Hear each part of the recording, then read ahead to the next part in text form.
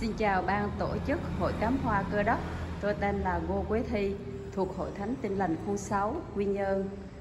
Thưa quý vị, tôi không phải là một người cắm hoa chuyên nghiệp, nhưng muốn được góp phần là khả năng Chúa ban cho để trang trí làm đẹp nhà Chúa.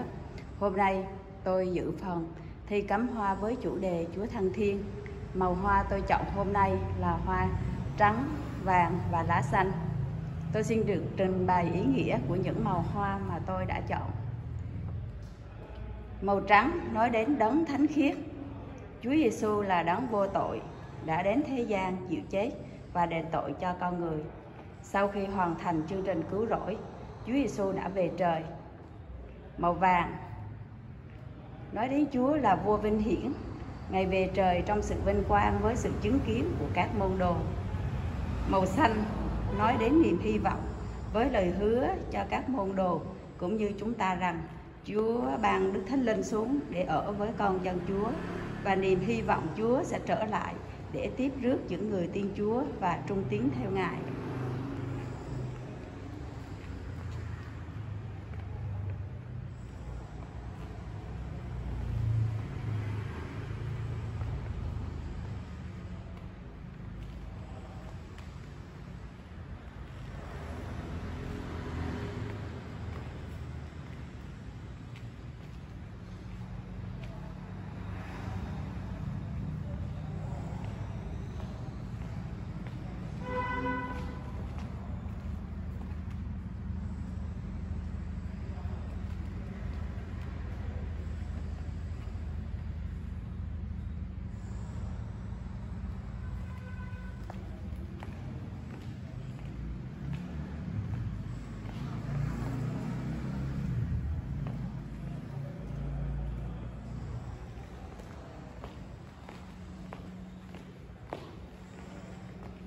Đây là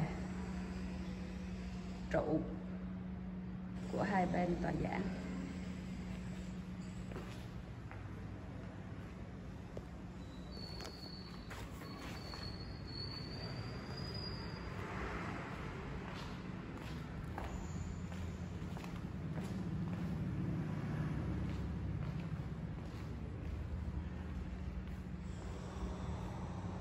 Xin cảm ơn ban tổ chức Hội Cắm Hoa Cơ Đốc đã tổ chức chương trình này để giúp chúng ta học hỏi thêm những kỹ năng để cắm hoa trong nhà Chúa được đẹp hơn và ý nghĩa, trang trọng trong sự thờ phượng Chúa. Xin Chúa ban phước trên hết thảy quý vị.